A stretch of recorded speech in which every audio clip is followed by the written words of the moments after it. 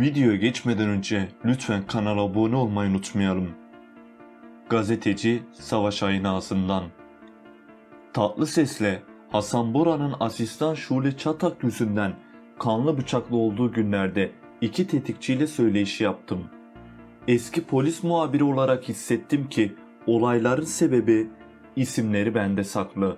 İki ünlü babanın kariyer çatışmasıdır. Şimdi zaman tünelinde kısa bir yolculuğa çıkalım ve İbrahim Tatlıses'i ölümün eşiğinden döndüren son olayın geçmişinde asıl neler var bir bakalım. Hasan Bora, İbrahim Tatlıses'in keşfedildiği yıllarda hem çok yakın arkadaşı hem menajeri ve akıl hocasıydı.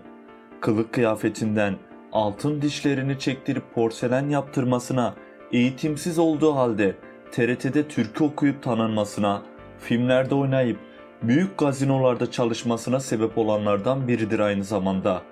Tatlı ses iyice ünlenince Hasan Bora'ya çok fazla ihtiyacı kalmadı. Ona bir anlamda sırt döndü. Bora onu vefasızlıkla suçladı ve her yerde hakkında konuşmaya başladı. Araları giderek açıldı.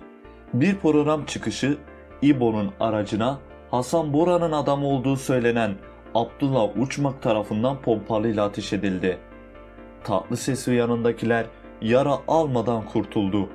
Hasan Bora her yerde bu olayın o zamanki asistan Şule Çatak'ın kendisine 50 bin lira borcunu ödemeden İdoba'ya yani Tatlı Ses'in Burhan Bayer'le olan şirketine geçmesi yüzünden olduğunu söyledi.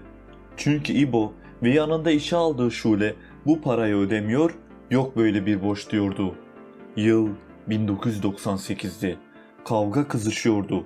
Birkaç ay sonra İbo'nun büyük oğlu Ahmet Tatlı ve kardeşi Hüseyin Tatlı'nın da aralarında olduğu bir grup Hasan Bora'nın Levent'teki villa ofisini bastı. Yaralananlardan biri iftar yemeğine gelmiş olan Abdullah Uçmak'tı. Polis, İbrahim Tatlıses'in oğlunu arıyor, İbo ise bu konu hakkında asla konuşmuyordu. Uludağ'da olduğu öğrenince A takımı kameramanlarını da alarak oraya gittim. Grant yazıcıda kalıyordu. Önce konuşmak istemedi. Bir ara kafeteryada tesadüfen orada tatil yapan devrin emniyet genel müdürü Necati Bilican'la olan samimiyeti gördü ve bana gelip ricada bulundu.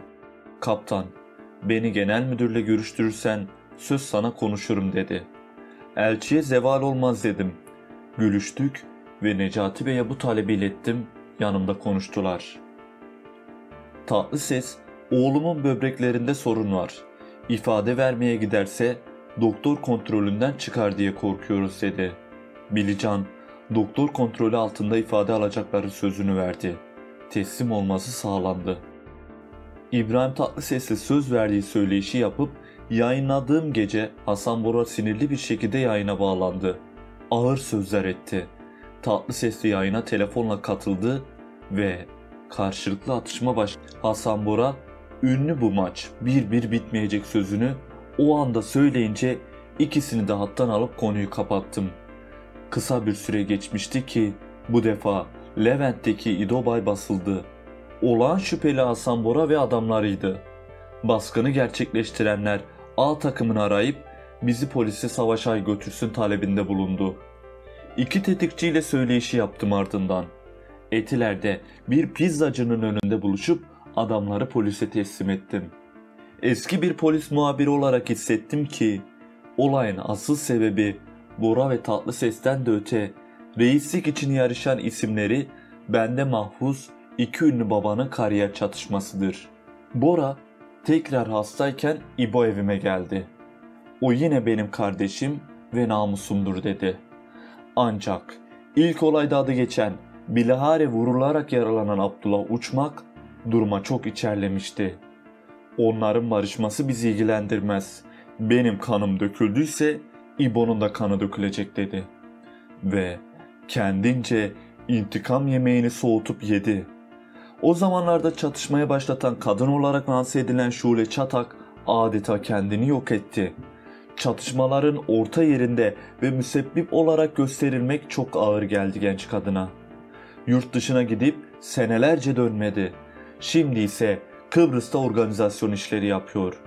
Aslında bu olayın esas mağduru Şule kız oldu. Yaşananlara yorumu ise benim yaptığım sadece şirket değiştirmekti.